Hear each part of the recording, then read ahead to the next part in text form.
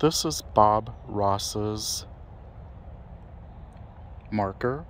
This is where he is buried in Gotha, Florida at the Woodlawn Memorial Gardens. Ross was a famous teacher of painting. He had his own show for over 11 years on PBS, where he taught the fine work of art. His paintings also did sell. Some of them are valued up to over $10,000 now. Mr. Ross died in 1995.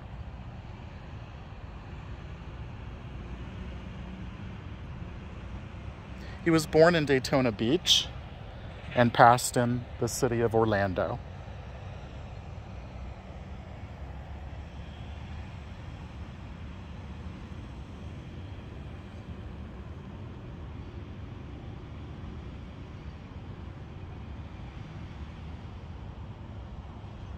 As you can see, many people have left remembrances,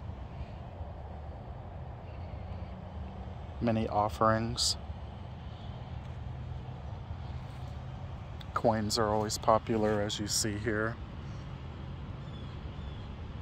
Pennies mean that we visited. here's a little painting that somebody did. A rock with his name. Rocks are popular also to put on burials as they do last longer than flowers. And here we have art brushes and various different tools of the trade. And a wreath as the holidays have just passed.